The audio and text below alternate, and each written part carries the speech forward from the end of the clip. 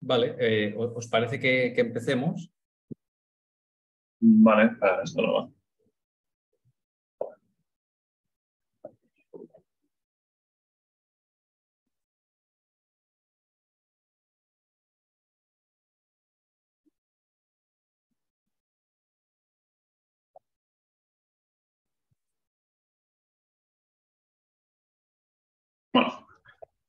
Okay, so well, let's start. Uh, good morning, everyone. My name is José Antonio Torres, and I am a PhD student inside the CAMS Investigation Center here in CIMNE. All my work is focused in the field of topology optimization techniques. And today I would like to present you some of my last research inside this field. And this is mainly based in my final master thesis, which I, I did last year and this uh, all this work has been transformed into a paper, and it has it has been selected by my university as one of the best candidates to be presented in uh, inside the context of the 19th Pegasus Student Conference. I don't know if you you have heard about this before, but basically Pegasus is a network of European universities uh, focused in the aerospace sector. And then next month we will be presenting uh, the, this paper, which is called the optimal design of structures considering 3D printing overhang constraint through anisotropic perimeter. and this work, this work has been supervised by Dr. Alex Ferrer and Dr. Fermin Otero. The outline of this presentation is as follows. We will start uh, speaking a little bit about the motivation and the main tools that we're going to use through topology optimization, additive manufacturing, and, and the perimeter functional. And then how we apply all this knowledge in microstructure and structural topology optimization with perimeter, and then the conclusions and the references. Okay, so let's uh, start um, talking a little bit about the motivation. In the aerospace sector, it is a clear uh, challenge with this obtaining of a weighting structure in order to reduce the fuel consumption of aircraft and therefore to achieve a limitation in environmental impact and then increase the energy efficiency of, of aircraft. so imagine that you, you have the, the, a classical fuselage of an aircraft which design is very traditional and since a lot, a lot of years ago, it has not changed. And it consists of some horizontal and vertical stiffeners, a disposition of, of stiffeners. And since this design is very classic, it is uh, for sure we can optimize this kind of design. So imagine you have some numerical tool that allows you to transform this original design into, for instance, this one, where some horizontal or vertical stiffeners have been replaced, for instance, by diagonal ones thus optimizing the weight of the aircraft, fulfilling the same capabilities, meaning that the same configuration of boundary conditions and external forces. Then we're obtaining structures with low density to stiffness ratio, or um, structures where weight optimization mainly have been obtained through material topologies. Okay, and which is the numerical tool that allows us to obtain this kind of new designs? What is topology optimization? Topology optimization is a useful numerical tool uh, to design this kind of lightweight structures. It is based in finite elements. And mainly we have some, this uh, big domain D. You can understand D as a reference domain or background domain. And this could be the original or non-optimized structure with the corresponding boundary conditions and loads. And the idea is to remove um, progressively material, obtaining complex shapes and folds, in such a way that the structure always remain as stiff as possible. um, well, here it is very important to decide which is our design variable, and this is this chi here, uh, which is called the characteristic function. This characteristic function basically classifies at each point of this big domain T, if a material, if the point is a material point, which is inside this uh, subdomain omega, inside T, with, I will call this black point, okay? And the t is equal to zero if we are outside omega, but inside of d, which is a void point, void material point, which we will know as white uh, point. so the purpose of the optimization will be to find um, this characteristic function, this distribution of material inside D, such that some functional J is minimized. For instance, in the case of structures, the flexibility or the compliance or the internal energy, and also subject to some set of constraints. Okay, but um, as you may think, we have defined a discrete design variable um, optimization problem since the characteristic function uh, just defines zeros or ones. So in the boundary of omega, uh, we will we have some discontinuities. And since optimization processes are based in gradient, uh, gradient methods, the derivative there is infinite. So we may have some incompatibilities. We must to think another possibilities to our design variable. And usually this characteristic function t is replaced by two alternatives. The first one is density, which basically is a relaxation of our problem. it is, uh, we uh, allow the operation of gray areas in the boundary of omega. Between 0 and 1, we have uh, continuous values, for instance, 0 0.5, 0 0.6, which is a, a, gray scale. As you can see here in this picture, for instance, in a background between black and white values, we have some gray region. Then we must think also, okay, uh, in the black point, the elastic properties are the Young modulus of my material, whereas in the in the white regions, the Young modulus is equal to zero or a very, very small value but which is the elastic uh, properties in the gray regions. We will, we will have to think about how to interpolate in these gray regions the properties.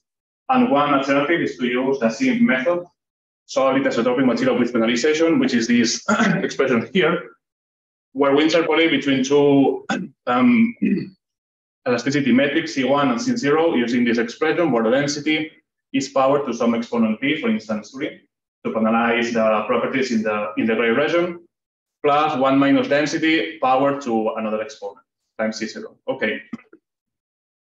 So the density yields a continuous and smooth um, design variable, which is useful for optimization processes. Another approach is the level set. Level set is a, a surface function in the space, which is also continuous and smooth. And depending on its sign, it classifies directly a material into black or white um, like this.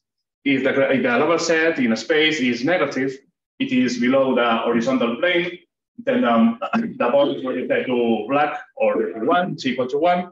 And if the set is positive, uh, it, we will talk about that ball. And in this case, uh, we don't we don't know how to interpolate elastic properties, and then basically we'll take C1 to black points or C0 to four white points. Okay, let's review a little bit the canonical formulation of, the, of our algorithm for, for these problems.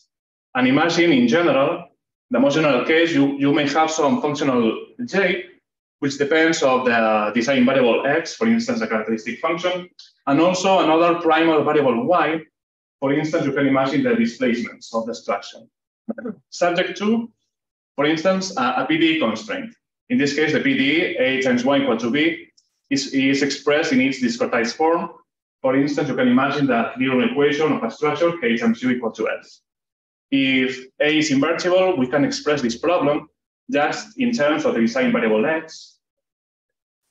And, and then we don't, we don't, we have only just to determine the, the characteristic function in our problem. Okay, so in topology optimization, our main goal is to find the gradient of the cost conflict. It's very important. In, in this case, the gradient of j, which is depicted here in, in on the right, can be decomposed just in the gradient of j with respect to x, plus the gradient of y times the gradient of y with respect to, to x. If the constraint is, is not a PDE, we may have just to compute the first term, but in general, it is decomposed in these two terms. So the algorithm is as follows. First of all, we have to compute the primal variable from the equilibrium equation, a times y equal to b. The second step uh, is to compute, which is called the adjoint variable, which is this p there in step two, that basically helps us to obtain the second term of the gradient. Then we compute the gradient of j. And finally, our algorithm is based in a, a steeper descent like algorithm where our, our design variable is, is, is replaced at each point by the previous step plus some line search alpha times the gradient of j with a negative, meaning that we are decreasing it in the direction. Here, the line search alpha is, is a small number chosen such that the cost function is always um, decreasing until you find a local optimum point. okay, depending in our design variable density or level set, this algorithm is adapted to, to some optimizers, known in the literature, for instance, projected gradient for density, or the SLERP and Hamilton Jacobi for level set methods. And if you add a lot, a lot, a lot of more constraints, uh, um, we need complementary optimizer coupling uh, Lagrange multipliers. Okay, so at this point, the motivation is to find a structure with low density material or with uh, complex shapes and folds. So we must think which manufacturing technique will allow us to obtain this kind of, of structures with an, an intuitive thought and complex shapes. And of course, nowadays, additive manufacturing is the technology that allows us to obtain these, these designs to reality. Additive manufacturing is 3D CAD data printing technology with this geometry freedom of design, with a reduced manufacturing time, and it has an applicability in a large variety of sectors. And then, if we are using additive manufacturing, we must think about what are the requirements that we must fulfill in order to, to manufacture these kind of structures. And we, we can find two constraints that we must uh, fulfill. First of all, is the length scale constraint. Basically, uh, our machine uh, will have some sensitivity in, in the material deposition. We cannot manufacture any any structure with internal bars without um, any thickness. We need a minimum thickness constraint, and this is uh, called the length scale constraint. We need our optimizer to find structures with holes and internal bars such that it has a minimum thickness.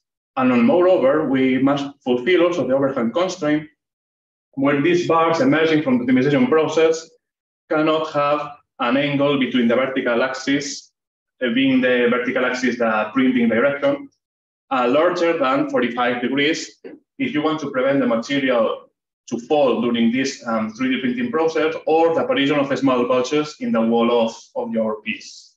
So overall, the aim of this study will be to provide a solution to design new structure with topology optimization techniques, but fulfilling these two additive manufacturing concepts.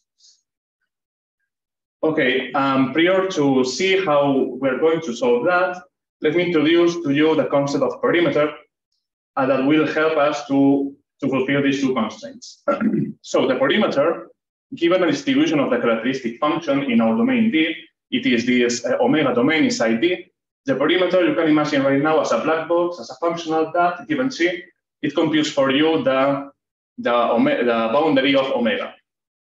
For instance, we can talk about relative or total perimeter, being relative perimeter as the sum of internal boundaries, these yellow uh, lines of omega being the, the separation between white and black values, or also you, you can also talk about total perimeter, which is not only these internal boundaries, but also the sum of the external boundaries here in red, the black points of omega, which uh, coincide with the boundary of D. So let's see uh, how are we going to compute these, these uh. Here to see, so I must uh, to introduce you also the concept of smoothing. Imagine you have some characteristic function in general, a discontinuous function. Uh, we want to smooth our problem. To, uh, to find some, in this case, we will call that regularized density, rho epsilon there. And such that this, this rho epsilon represents the Hilbert projection with Neumann boundary conditions. Okay, basically, we will want to solve this minimization problem. Well, we want to find some density which is very similar to chi, solving this first term of the minimization problem, which is a, a kind of least squares problem. But we want this uh, similarity such that the, uh, we also have finite gradient in the boundaries, finalizing the gradient of the density. Just a little quantity action square. So we will be basically smoothing the chi, the chi characteristic function. And in this case, we can represent this as, as finding some rho epsilon, which is inside a Hilbert space, that's that some functional J's minimax. Let's review a little bit how we solve this kind of, of problems numerically. An unconstrained minimization problem. Imagine, okay, we have some functional, uh, which has as input a function of real numbers. I transform this also into a real number. Okay, this is um, relative hard problem because if you remember from elemental calculus, if you have a real function that transforms real to reals, it is as easy as take the derivative and then equal to zero, set is equal to zero. But in this case, it's not that easy because now the independent variable is not anymore a real number, but it is a function. of real numbers. It is a distribution of, of values. So the tool that allows us to compute this result is which is known as the Gateaux derivative tool, which in fact is a generalization of a directional derivative in space. You can imagine, for instance, this J as a paraboloid. If you want to find the minimum point, you must find a distribution of the density such that any perturbation, rho hat times some tau, doesn't change the, the operator always see a derivative equal to zero. Then independently of the direction, you are in a local minimum. You can understand this rho hat as a test function or a perturbation of your density um, design variable, where tau is a real number. So, which is called the variational forms obtained by setting the total derivative equal to zero for any um, test function rho hat. Okay, so uh, introducing this, this tool, let's take the Gateaux derivative of our previous minimization problem. We set this equal to zero. Now let me to represent the design variable rho epsilon as a finite element function using shape functions n and the gradients of the shape functions. Then we replace this in, in our equation. We operate a little bit, and we end up with this kind of matrix equation where this M is a mathematical analog of a mass matrix it is not exactly a mass matrix because it, it doesn't have units of mass, but the structure is very similar to the computation of, of, of this mass matrix because we, we have um, two times as a function of first order. Um, K is a mathematical analog of a stiffness matrix, and F is a pseudo Ford vector. So what does this, this uh, matrix equation? Okay, imagine you have a, a determined chi, for instance, a square inclusion inside a square domain, as you can see here in the left picture. If you smooth uh, this domain uh, using this operator, you end with this, uh, this another distribution where you can see how in the internal boundaries, now you have obtained some gray area here. You have smoothed the, the, internal, the internal boundaries of, of this square. So how do we compute now the perimeter? Okay, using this expression here, where we're integrating in the domain some quantity. But before explaining so, you may think that the perimeter is a sum of boundaries. So I was expected to do an integral of the boundary because in fact, if you are summing in the boundary, you may integrate in the boundary. But why are we integrating in the domain instead of the boundary? Well, um, topology optimization is a technique that works uh, progressively, and you do not know in advance where the holes will be located. So it will be it would be very complex to integrate in boundaries of poles where you do not know uh, where we there we, we are we are, and so we integrate instead in a boundary in, in the whole domain, but using this integrand, one minus this regularized density I have already found times the design variable chi. Let's understand this operator. Imagine, for instance, chi, for the sake of simplicity, is also a density, the density design variable, this, this works for both density and level set, but let's discuss for density, where you have one minus some density times some density. Here you have the plot of this integrand from zero to one. If you, if, you have a density equal to zero, you are in a white uh, value. The integral is not contributing because y minus zero times zero is zero. If you are in a black point, one minus one, zero times one, zero. But for intermediate values of the density, 0.5, 0.6, uh, the integral is contributing. And then this operator basically sums gray areas inside this domain D. This is why this is a kind of estimation of the perimeter. And as we have integrated in the whole domain later, we will have to uh, divide by some characteristic length, in this case to epsilon, where this epsilon is, for instance, the mesh size of your, of your mesh. So just a question. Yes. Epsilon is not the same epsilon. Yeah, it, it's the same epsilon as, as this one. Yes, yes, yes. It's the same. Thank you. okay, uh, we can also talk about the total perimeter, which can be understood as a Hilbert projection with Robin boundary conditions. Uh, the minimization problem is exactly the same as the previous one, but look that we have added a new integral analyzing the value of, of the unknown of the density in the boundaries. So we are looking that the original black values of the characteristic function in a boundary of P now become to a zero, and then we will obtain a gray distribution also there. if we uh, follow the same procedure as before, uh, we end up again with a matrix equation where a new matrix MB, which is a mathematical analog of a boundary mass matrix, uh, has appeared. Basically, what we obtain now with the same square inclusion is the same result as before, but you can see how in the external boundaries, in the big boundaries, you have also a grid distribution. So if you use, once again, the same integral definition for the perimeter, now you are summing not only the internal, but also the total perimeter. So the idea is that this um, isotropic or being understanding isotropic as standard perimeter, if we are able to penalize it in our topological optimization problem, we may avoid the apparition of small areas because penalizing the perimeter may kill these small length scales. This is the idea. Later we will see if this works. But we can also talk about, which is know that the same relative and total, but anisotropic perimeter.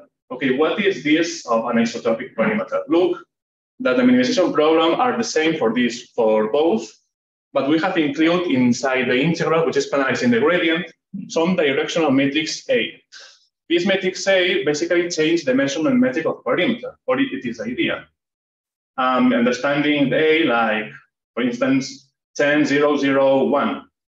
Then you are basically telling to, to our problem that some directions of, of your domain have preference in summing perimeter with respect to the perpendicular one. So you are changing the metric. You are giving more importance to specific directions you, you uh, follow the same procedure, you end up with um, similar matrix equations where here a new, a new one appears, or the previous stiffness matrix is replaced by this mathematical analog of an anisotropic stiffness matrix with this matrix A in the middle of the gradients of the shape functions.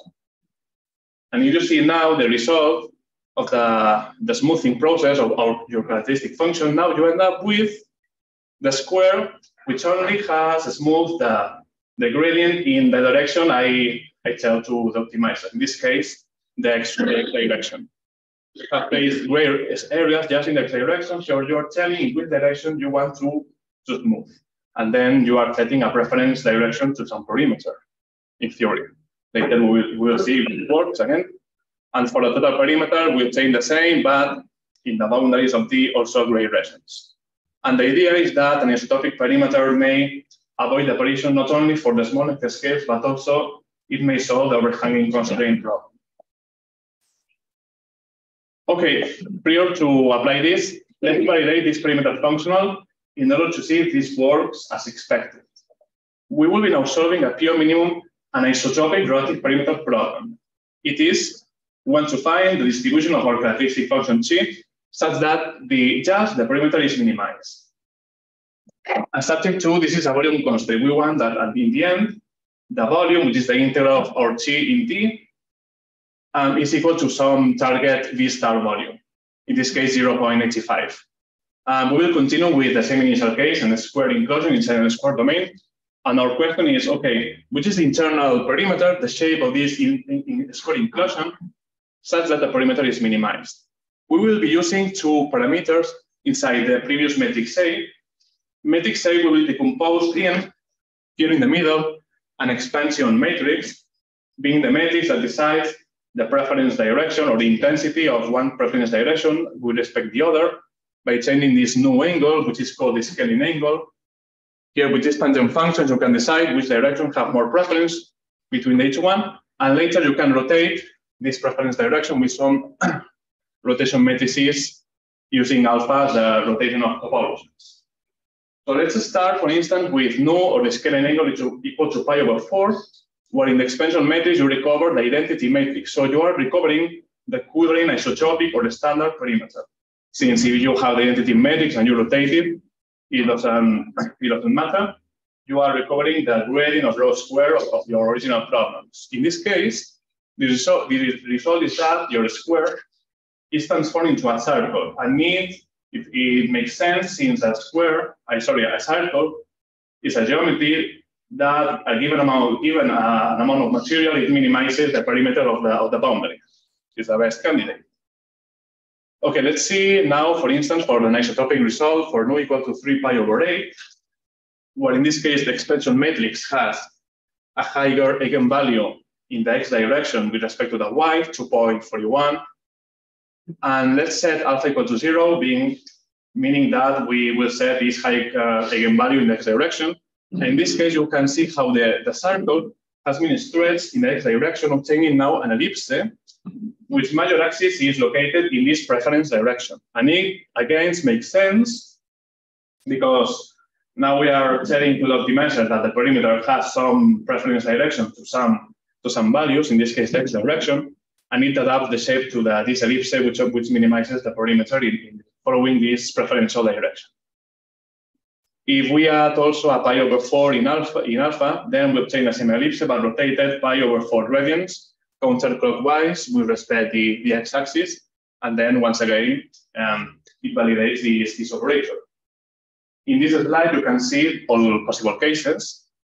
If as nu tends to zero or pi over two, going up or going down, this circle tends to an ellipse, more and more eccentric until the ellipse um, it, it, it's converted into a perfect bar, as you can see in the in the last row or the, or the first row.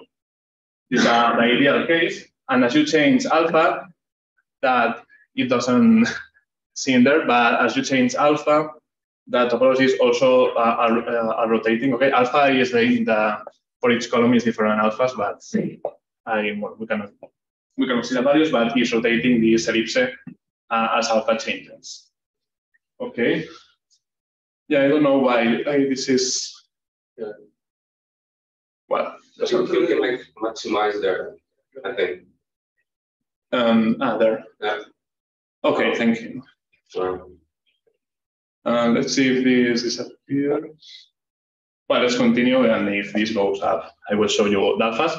Okay, let's apply this um, tool that we have already uh, learned to, the, to our two main problems. The first one is a microstructural topology optimization with, with perimeter. Microstructures deal with periodical disposition of unit cells in, in a space, and each of these unit cells have some orthotropic effective properties um, summarized as an uh, homogenized elasticity tensor C satisfying this constitutive relationship in Voigt notation.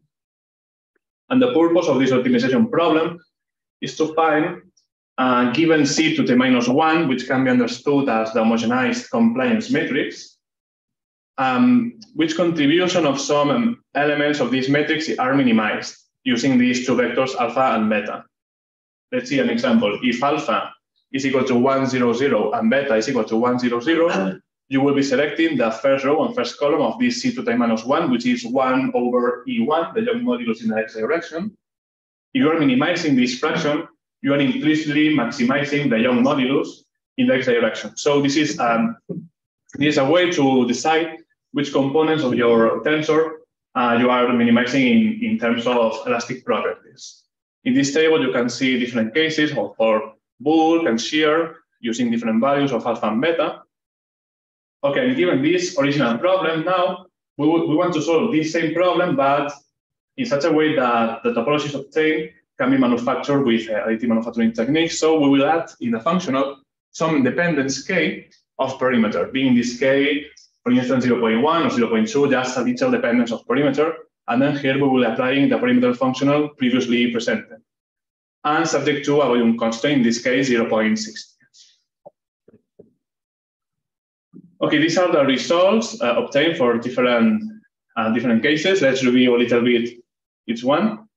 Uh, for instance, in, in bulk one or shear, you can see comparing isotropic versus anisotropic total perimeter, how in general, no small length scales are appearing in, in these solutions, and how for bulk one, you're obtaining more vertical topologies, since we have set the preference in this vertical direction. Yes, uh, sorry, I forgot. And these are the variables I'm using for these simulations, nu equal to 85 degrees and alpha equal to 90, since 90 is the direction of the 3D printing um, process. And then in the vertical direction, I will be obtaining some preferential bars. And in the shear, you can see how in the vertical direction, the topologies or the bars have increased in thickness whereas in the horizontal ones have decreased, justifying again um, that we are prioritizing the, this direction, and then we're fulfilling overcoming constraints. The same goes from bulk two and shear bulk, where in general, in anisotropic case, above all, no small length scales are appearing, and the topologies have been oriented mainly vertically, except in shear that some some ones are still in diagonals since we need this as like that in order to fulfill shear well the shear demand of our problem. But in general, the two constraints are fulfilled. Let's now move on the structural topology optimization with perimeter. Okay, regarding structure, you can imagine as a structure submitted to a set of constraints and external forces. In this case, the purpose will be to reduce the volume of the structure continuously, always uh, keeping the internal energy minimum. And being the internal energy state, the external force vector time displacement. And you can think about that because, okay, if I have some external force that produce a displacement, the product of this force and the displacement gives me some energy. The higher this energy, the more flexible the structure is. So by minimizing this displacement, given this external force, I'm implicitly again maximizing the stiffness. This is why this quantity in other contexts is also known as compliance, a compliance variable. So we are minimizing in function of t this compliance, but again, ensuring the manufacturability. So we will add also a dependence of perimeter, k times p. In this case, subject to uh, the equilibrium equation, a PD is a PD constraint problem. We, we must satisfy the k times u equal to f in discretized form, and also with a volume constraint. And we will be discussing uh, three benchmarking cases, the arch, uh, which is the, the, the, the, first one, the bridge, and a cantilever beam. Okay, regarding the arch, well, for these three cases, I will be using the same values, nu equal to 85 and alpha equal to 90. And okay, here are several, several comments. First of all, we can compare relative versus total perimeter in any case. Remember, relative perimeter is a smoothing problem with Neumann boundary conditions. So basically, as the, what you can see is that the material um, distribution with respect to the boundary of the D domain ends with a 90 degrees angle, with a perpendicular angle, whereas in the total perimeter, the boundaries are curved near the boundaries, since here we have Robin boundary conditions, and then this circle shapes is the best way to minimize this, this perimeter. This is the main difference between relative and total in any case. Now, if you compare density versus level set, you can see in general how the results are not similar, and it happens a lot in topology optimization. Depending on the design variable, you may obtain different topologies. But now let's compare uh, our comparison of interest between which, which is isotropic versus anisotropic perimeter. Okay, for instance, in the case of density, for isotropic perimeter, in general, no small length scales are appearing, but you can see how you have several bars. And in the case of anisotropic, the most horizontal ones have been severely penalized, disappearing for our solution, and the vertical one have increased in thickness. And then, in general, the right one could be printed using 3D printing processes, but the first one may not. The most horizontal may fall during the, the printing process. So we are obtaining structures that can be manufactured with 3D printing technologies.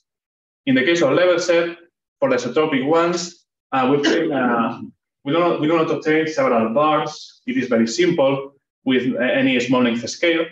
So for the optimizer, it is a little bit complex to obtain uh, to solve the isotropic constraint. And what it does basically is to split the full art even into parts in order to build each one separately, fulfilling overhanging constraints uh, using this, this kind of thing. Okay. So for the bridge, sim uh, something similar happens. Again, density and level set in general are, are different um, solutions. For density, comparing an isotropic, uh, isotropic versus an isotropic, for both, no small length scales are appearing, but for an isotropic perimeter, you can see how the bridge have been splitted or nearly split in two parts once again, uh, because it is complex to um, to keep this horizontal beam. So the best uh, solution is to split the bridge into parts, fulfilling overhanging constraint. And for level set, uh, you can see this, it is maybe very uh, more interesting. You can see how the horizontal beam here at the, at the base of the bridge have been eliminated in the anisotropic case. and the diagonal bars have increased a little bit in thickness and nearly tended vertical. So once again, fulfilling overhanging constraint in the, in the vertical direction or the 3D printing uh, direction. Okay, and finally, this is a cantilever beam. This is a complex case since the bending uh, moment that generates this distribution of external force, this point load at the right, uh, makes difficult for the optimizer to fulfill overhanging in the vertical direction. And, but well, in, in general, no small scales are appearing, and you compare, for instance, an isotropic perimeter with density and an isotropic, you can see how vertical bars are appearing in, that, in, the, in the upper part of your, of your domain, fulfilling this preferential direction for, fulfill, for fulfilling overhanging constraint. And in the level set, for instance, an isotropic, you had some diagonal bars, and in this case, these diagonal bars have increased in thickness and have been nearly oriented vertically, again fulfilling uh, overhanging constraint. So in general, let's move on to the conclusions. Regarding the design of high structures, project optimization has been uh, a very useful tool. And regarding manufacturability, we can solve these two constraints. To, in order to solve the small scales constraint, we can use this isotropic perimeter functional. And regarding overhanging and also minimum length scales, you can use the anisotropic perimeter function. So this paper, this study has become relevant for exploration on new lightweighting structures. And of course, further exploration will, be, will remain in the nonlinear regime in, in, in my PhD thesis. Okay, these are the references used for, for this presentation. And now just as one last remark, I'm going to show you some videos of this uh, process, which I think is, are very interesting. A compliance problem, pure compliance problem without perimeter, then just with isotropic perimeter and with an, with an anisotropic perimeter. So let me just prepare these videos. Okay. Okay, uh, uh in the left, you can see the compliance problem. It is the, the original uh, problem of a structural topology optimization problem without any constraint. And then you can see how a lot of um, bars are appearing. And in general, now um, you have a small length scales, and then this is very complex to manufacture, the left, the left one. At the middle, and now it's, is is working, you can see how the small length scales have disappeared. Okay, now it is, is starting again. So by using isotropic perimeter, basically the small, the small length scales are killed, you, uh, obtaining a structure with higher length scales, but still not solving the overhanging phenomena. But with, in the case of an isotropic, I will stop here. In the case of, of the, okay, here. In the case of an isotropic perimeter, you can see how all internal topologies have disappeared, obtaining this, this cantilever, which is uh, weird, but uh, it, it is possible to manufacture with 3D printing technology, uh, avoiding this overhanging issue. Okay, so just one last comment.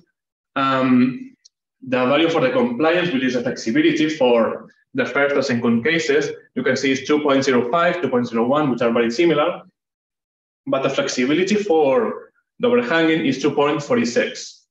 So we are losing stiffness. And it makes sense because the more constraints you are adding, uh, you are demanding a, a, a most complex geometry. So you are losing more stiffness. You you're fulfilling some constraints, but you're you are far from the optimal point of your problem.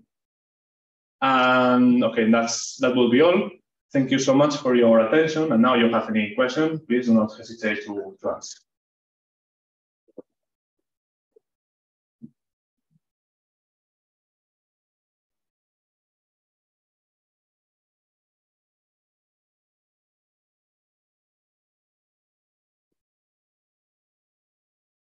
Okay, so in the other cases, do you also have the comparison between the solution without any uh, restriction on the perimeter and? No, for the other ones, not just for this, the last, this last case. Yes, I did it a lot, a lot of yeah, a lot of time ago, and I now I don't, I don't have. Thanks. but in general, you can see that uh, the more constant you're adding, the solution is is little bit worse, but you're fulfilling more more content, of course, in general. in the cases you were not able, so there was one case in which it was difficult to find the solution. Mm -hmm. Yes, the shear, right? Yes. This one? Yes, for, uh, and the one above, right? This one. Yes, so this, this one has more. Yes, here you still have more length scale, maybe. Well, um, we can um, upgrade because, well, we are in these last weeks, we have been working in, in upgrading our optimizer because it was done uh, some time some time ago, and well, our optimizer maybe was a little bit immature. But yes, here you are fulfilling overhanging. Maybe this small length scale is not is not fulfilled yet, but well, in general, you you can repeat. Yeah, in orthotropic effective properties um, maximization, it is sometimes complex because uh, you want to fulfill to still fulfill, for instance, in this case, is shear uh, if you kill these bars, maybe for the optimizer it's complex. It's complex to to fulfill the the orthotropic property uh, requirement. So yes, in some cases, uh, maybe you are not able to obtain to solve all constraints.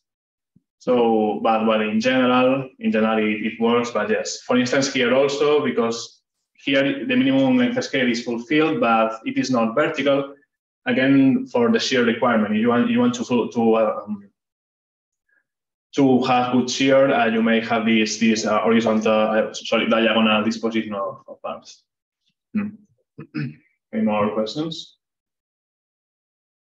Yeah, uh, Alejandro here. Let me just transmit you a question that they they put in the comments. Okay.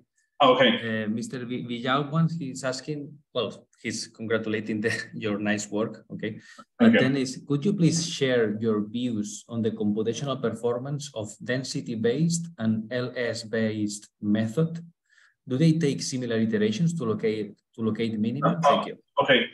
Yes. Um, in general, level set is is more complex numerically than density, because density is just a relaxation of the characteristic function, so it works in the in the full domain at once uh, in, doing this gradient method. So it is faster to obtain a, an optimized topology.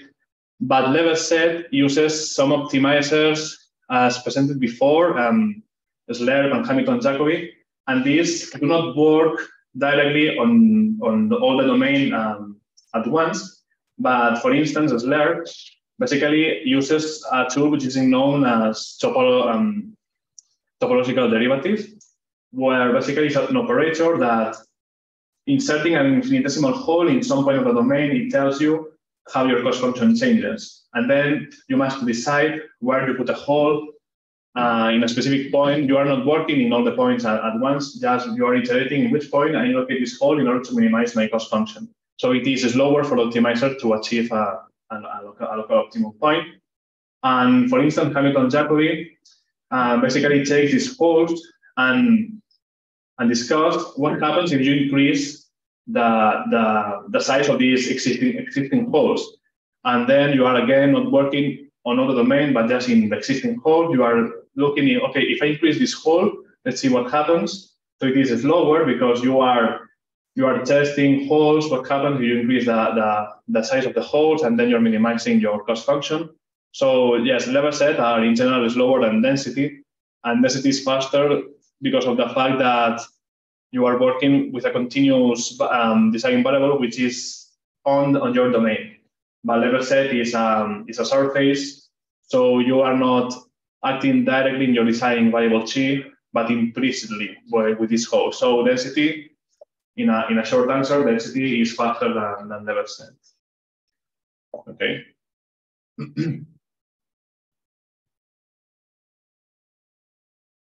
Thank you. I suppose that that- answers that question. I only have uh, one curiosity on my own. Uh, how much does it take to run one of those cases uh, on average? And and this tool is implemented in MATLAB or I mean in a, Yes.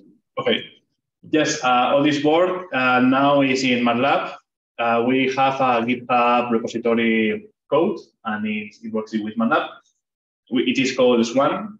Um, okay, uh, the computational time depends on, on the requirements. The, com the pure compliance problem um, with a fine, um, a good mesh may take maybe 20 minutes or well, less than one hour. But as you are adding per isotropic perimeter on isotropic perimeter, you want to obtain a good result. Um, the problem may uh, may be about three hours, maybe four hours to compute the, the solution. So it depends on the functional. But for the complete solution, solving minimum scales and overhanging, approximately is between three and four hours for, for two-dimensional problems, of course.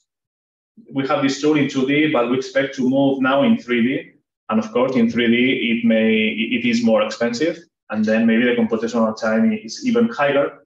But now we are working in, in optimizing this computational time in, in 2D, and then we will do this jump to, to 3D. But as a short answer, it's with the complete problem is between three and, and four, four hours. Perfect. More or less. Okay, thank you.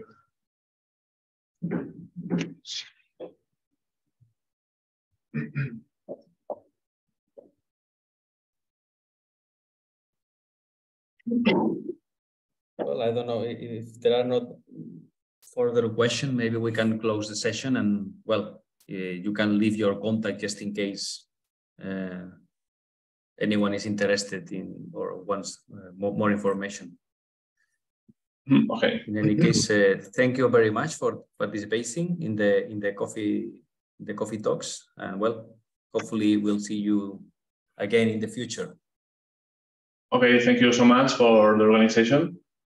And yes, let's hope to see you all of you in the in the future with new uh, updates of this of this numerical technique. Thank you. Thank you. Thank you. Thank you, everybody.